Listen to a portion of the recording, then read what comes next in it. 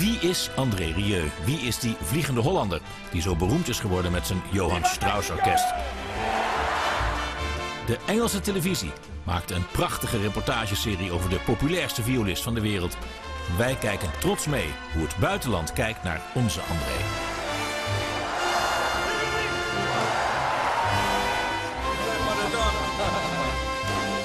Bye bye. And then I do. Every year I tour the world with my orchestra. This year, for example, we were in Austria, Australia, Argentina, Mexico, in the UK, in France, in Germany, in Denmark. I have 35 trillion air miles, I think. It's a busy schedule. So wherever I'm going, I like to get there fast, by any means of transport. And in a new city, I like to see the sights wow, look how impressive. The Blue Mosque. and greet my fans. Maradona, hey, eh? eh. Welcome to my world and buckle up because we are going on the road.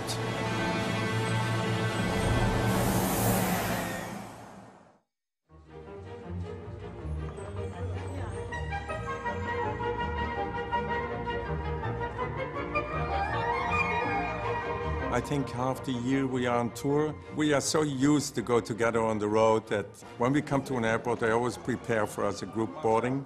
And then I'm there on the boarding pass. Hey, Vincenzo! I scream all the names, and they know that. Yeah, I'm here. I'm here. Boris. And then we have to go to the gate, and I see this line. but it's nice, and it, it gives really this, this warm family feeling of being together. Traveling the world is fantastic, but the most beautiful place for a musician is, of course, Vienna, the city of the waltz, the city of music.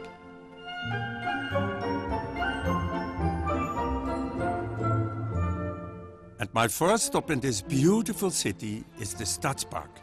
Designed in the style of an English garden, it's home to many statues of Austria's famous musicians.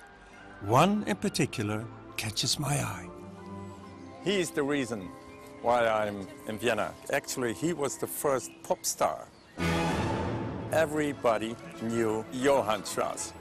And he was actually playing every Sunday in the park. That's the way he started. It's not for nothing that I named my orchestra after this fantastic composer. Since, since more than 150 years, he gave so much joy to the world. Just listen to his waltzes and you are happy. I think I have the most beautiful profession in the whole world to be on stage and play his music. Fantastic.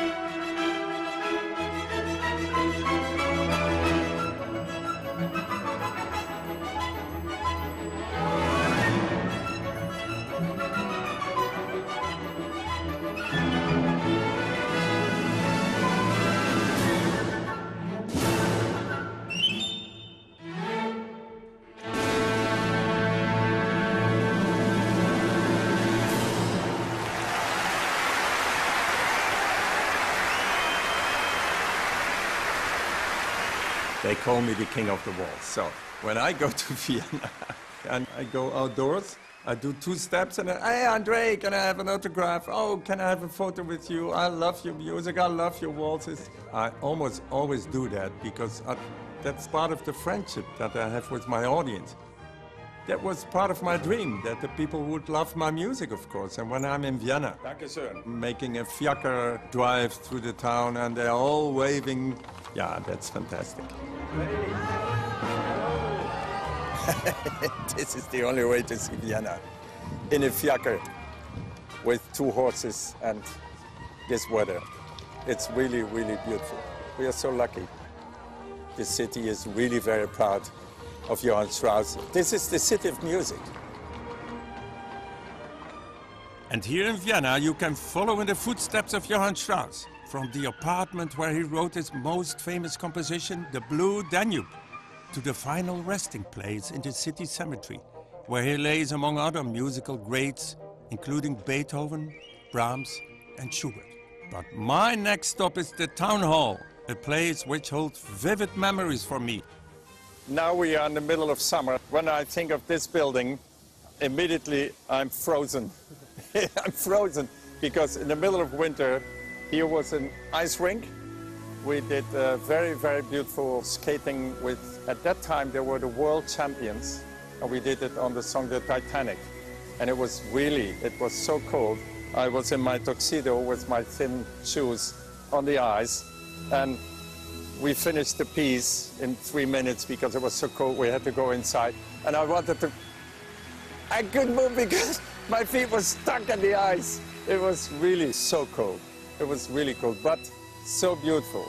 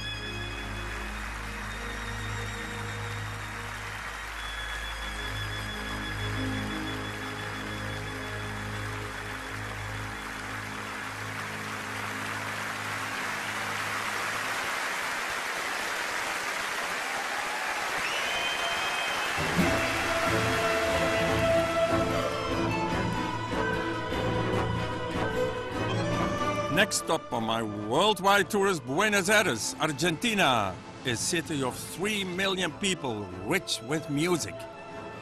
It was always my dream, from the moment I had an orchestra, to travel the world. I think half the year we are on tour, we go to all the continents. So that means Europe, all the countries, America, North, South America. Australia is not every year, but then we do, for example, South Africa. So it's the best life you could ever dream of. This is my first time in Buenos Aires, and there's one side I just had to see.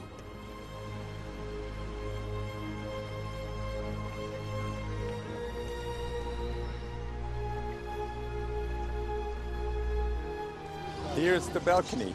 I'm feeling really very emotional because every night when I'm on stage, I see this palace and every night when Mirusia sings this beautiful Don't Cry for Me Argentina, it brings me to tears. And I have the same feeling now because it's different when you are here, really standing in front of the balcony where Eva Peron spoke to her people.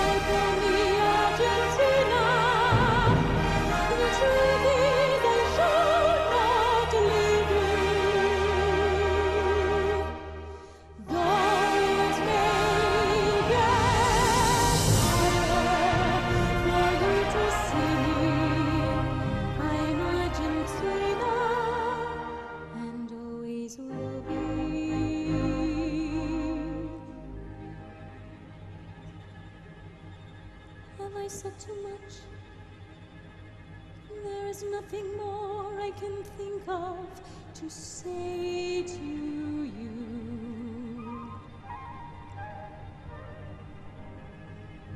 But all you have to do is look at me to know that every word is.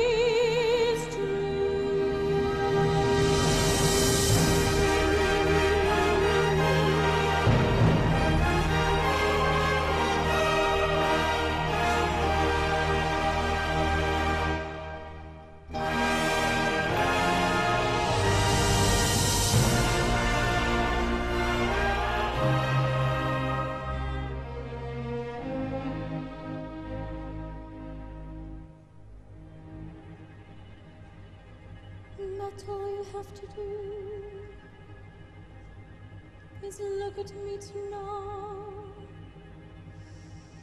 that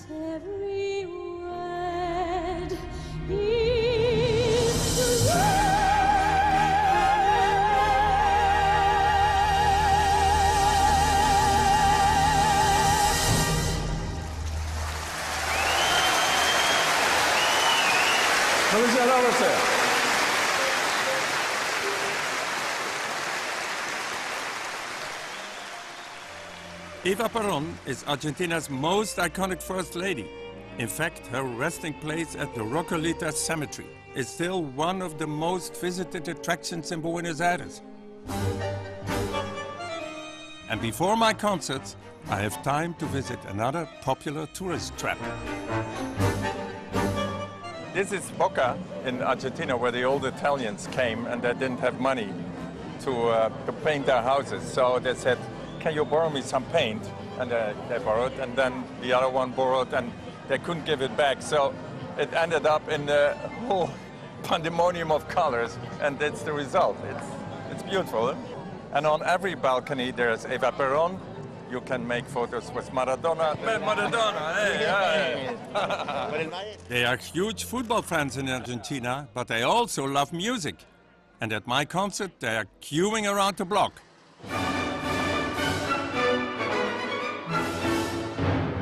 Buenos Aires, um, fact, they waited almost 20 years for me to come. So they waited really a long time. I love Andre Rieu. The music is fantastic. Andre, thank you for coming to Argentina. I like the music, I like everything. He's an inspiration for me. And this is the first time he comes to Argentina, so of course I'm very excited to, to be here. An amazing experience that we want to, to enjoy. And we are about to, actually. yeah.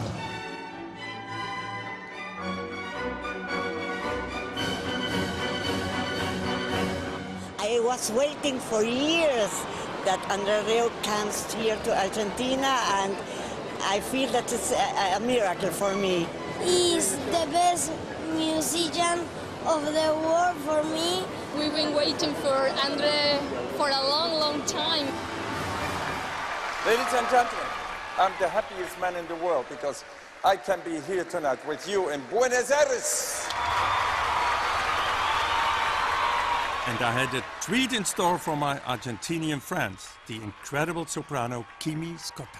Kimmy, she came from South Africa, and I was immediately in love with her and her voice, and she's such a nice girl. And in Buenos Aires, Kimi performed one of my favorite arias.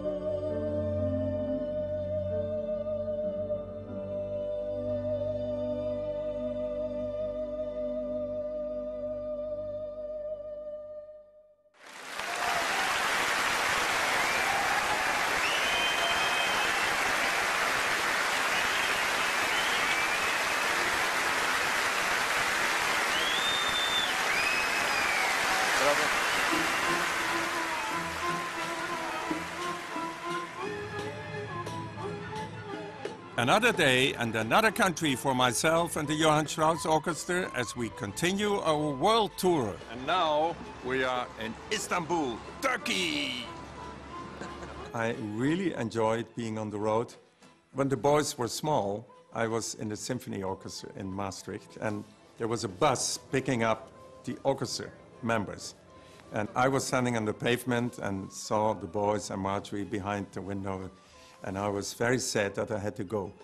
But I stepped into the bus and I said, hello, and then once I'm with my orchestra, I forget and I have fun. We are always on the road with friends, with a big family.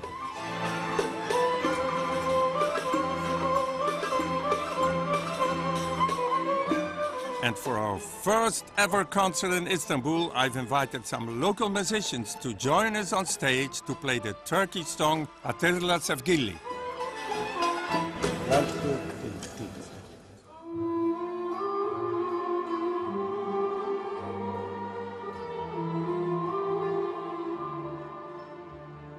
Hatırla Sevgili is waltz and it's so popular because generally in films or in television uh, every day you can hear these songs.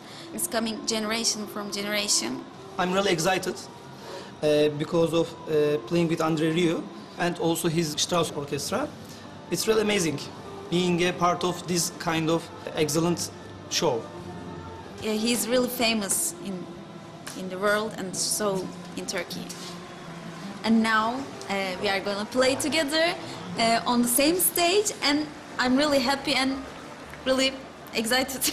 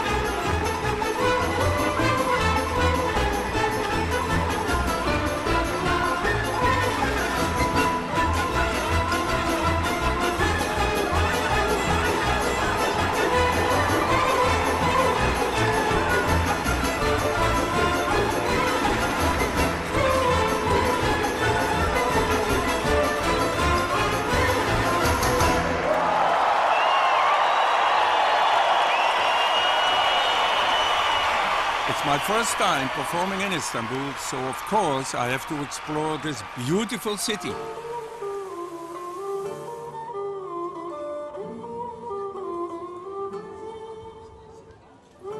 Wow. Look how impressive. The Blue Mosque. There are around 3,000 mosques in Istanbul, and they look beautiful. As I head further into the city, I find a smaller mosque, which in a funny way reminds me of home. So when you look closely, what do you see? Tulips. Everybody thinks tulips are from Holland, but originally it was a gift from the Turkish. Come from here, from Istanbul. Tulips from Istanbul instead of tulips from Amsterdam. And if you look closely, they're everywhere here in Istanbul.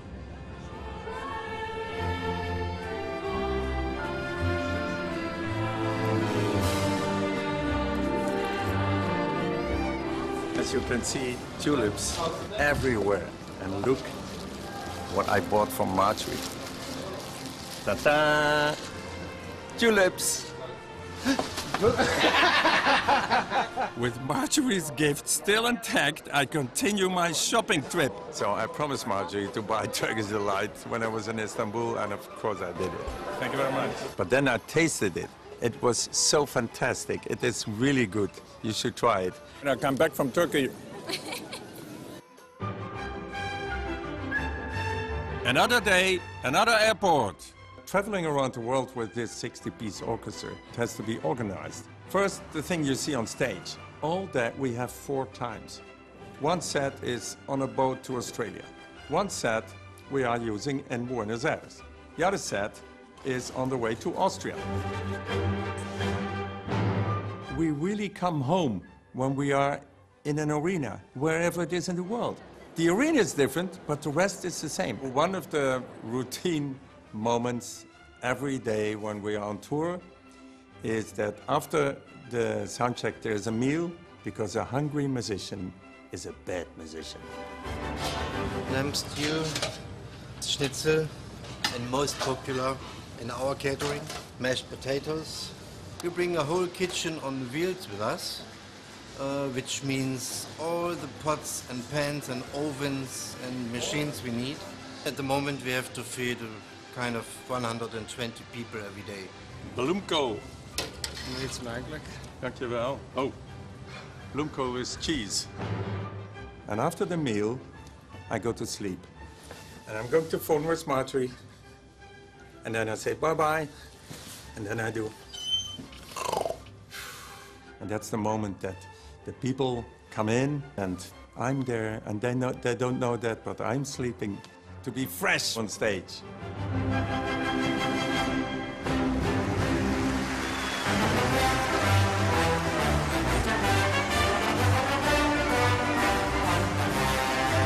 My concert starts, we come on with the 76 trombones to get known to the audience. And I feel, ah, this is going to be a fantastic night. I give the high five, we go on stage, we do our concert.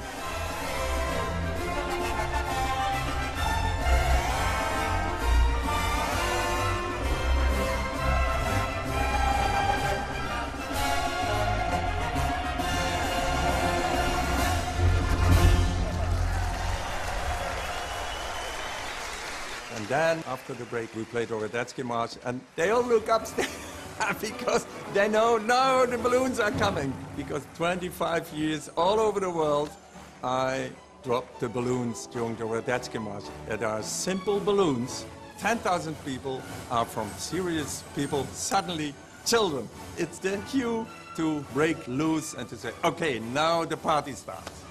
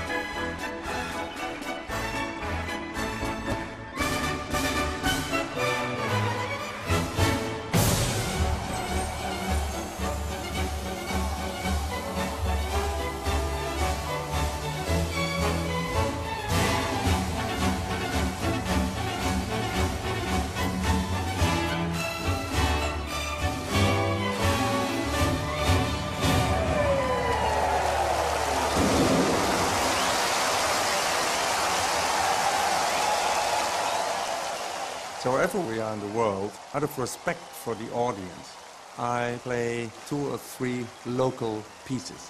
Of course, in Mexico, it's Cielito Lindo and the Hat dance.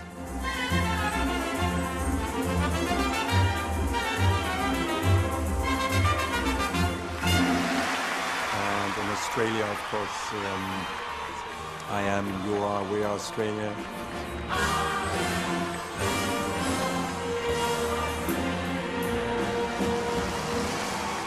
UK, Home Sweet Home, and We'll Meet Again.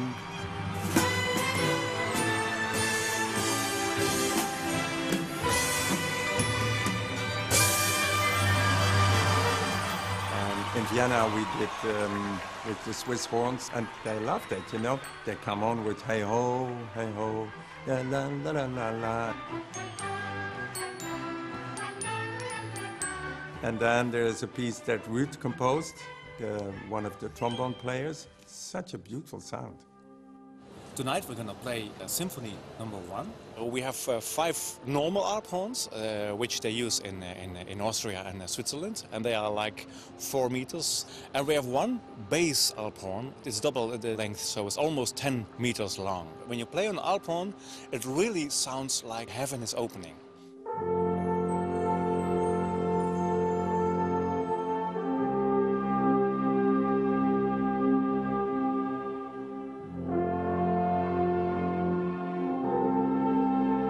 I feel when we play this during the encores, the people think, ah, that's our music. He plays our music. And they are, they are very, very, they love me for that, I think.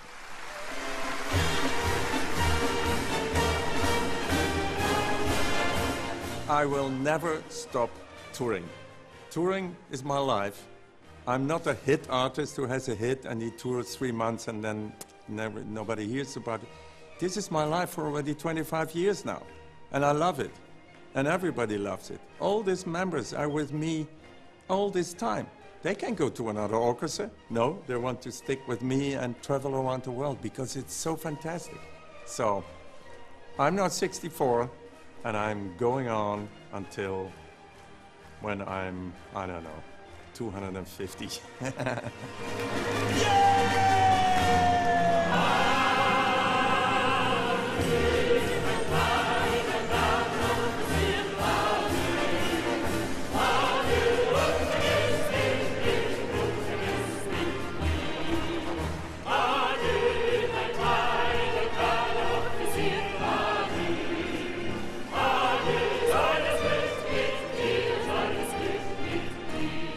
long as my audience love my music, I will continue to tour and be on the road. I love you, Andre. I love you, Andre. Thank you for coming. Thank you for the music. Thank you very much for coming to Istanbul. We had a great, great night. Andre, without any doubt, is the greatest musician in the whole world. Excelente. Espectacular. It was beautiful. We're just looking forward to the next one.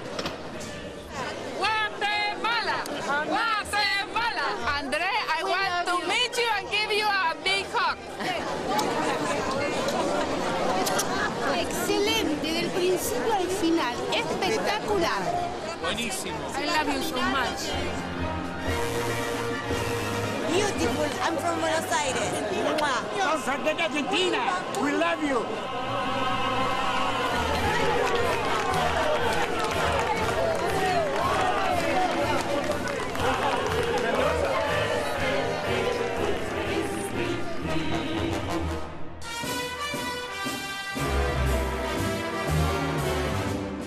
Vrijthof in Maastricht and tonight's concert is a huge celebration and the audience are very special indeed. My name is uh, Colonel uh, Robert uh, Thoma. I've been serving in, uh, in UNIFIL in Lebanon. I am a a major in the Royal Netherlands Air Force. We did our job. The music tonight is to honor our brave servicemen and women. So we used to train to music like that during the combat. Oh, those were that brought back a lot of old memories. And I fly to England to speak with the forces sweetheart, Dame Vera Lynn. I represented their sweetheart, their wives, and um, I suppose they pictured an English girl back home. And yes, I was thrilled. And then, what a girl. the Vrijthof is brimming with heroes. This is the Veterans Concert.